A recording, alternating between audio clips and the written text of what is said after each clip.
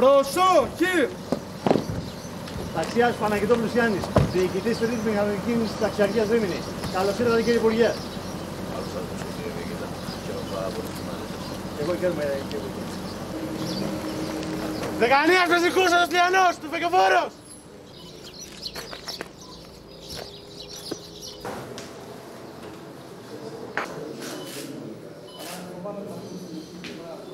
Η σημερινή επίσκεψή μας της πολιτικής και φυσικής ηγεσίας της ελληνικής αστυνομίας στον Εύρο έχει επιχειρησιακό χαρακτήρα και εκπέμπει ένα ισχυρό, ουσιαστικό αλλά και συμβολικό μήνυμα.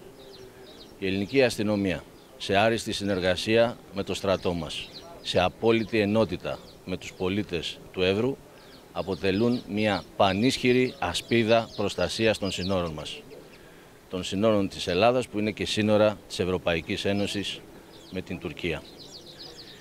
Είμαστε αποφασισμένοι να δυναμώσουμε ακόμη περισσότερο την αποτρεπτική μας δύναμη και να μπει τέλος σε όσους εργαλειοποιούν δυστυχισμένους ανθρώπους, τους παράτυπους μετανάστες.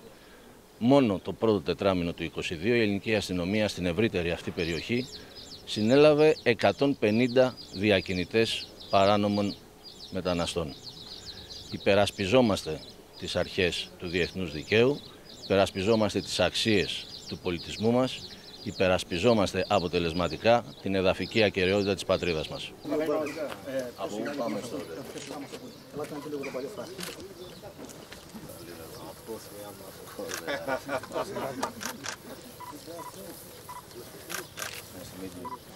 From Hungary.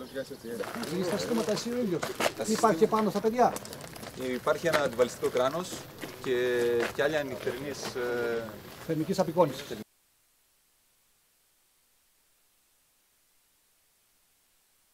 Και έχει και σερτράκι. Σωστά.